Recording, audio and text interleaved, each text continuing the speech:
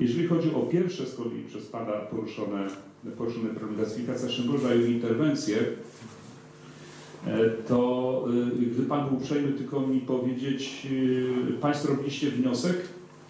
Wniosek, tak?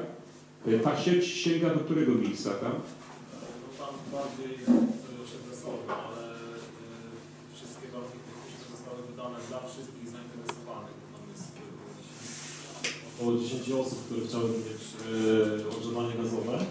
I były zapewnienia e, słowne i też dostawaliśmy pisemne e, tutaj oświadczenia, że tak ta sieć gaz, gazowa powstanie do końca września 2016 roku. I też byłem w kontakcie z projektantem, bo tam był problem podpisu, uczestniczyłem właśnie w tym całym procesie. No i teraz się skończyło na tym, że projektant oddał Polską Spółkę Gazownictwa do sądu za nieuwzględnienie tam coś z dokumentacją, a znowu Pol- Polska Spółka Gazownictwa projektanta drogą na nie swoich jakichś tam oczekiwań. Teraz jest e, konflikt interesu.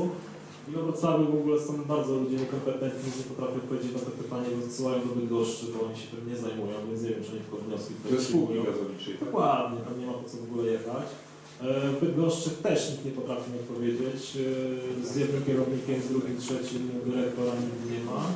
A co się okazuje, no to gazu chyba nie będzie w 2017 ani też 2018. No, miało to wszystko miejsce w 2016. Domy są podbudowane.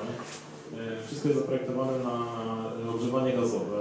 E, Ja też poczyniłem inwestycję jedną. Za chwilę będę rozpoczynał dwie kolejne inwestycje, bo tam mam kilka działek i też wszystko mam pod zaprojektowane. I teraz kto mi zwróci za to pieniądze? No, to jest bez sensu w ogóle traktowanie ludzi, bo jestem interesantem, powinien otrzymać e, wyczerpującą odpowiedź na pytanie, kiedy będzie ten gaz. A nikt nie potrafi powiedzieć kiedy. Czy w ogóle mogę podpisać jakąkolwiek umowę, nawet terminu nie wiem. Więc bardzo to jest irytujące. I prosiłbym, żeby pan prezydent y, wystąpił z jakimś y, pismem czy, czy, czy zapytaniem, y, co oni zamierzają w tej sytuacji teraz zrobić. Czy nam zainteresowanym zwrócą y, koszty teraz projektowe, żeby przeprojektować na inny system ogrzewania, czy cokolwiek. Bardzo proszę.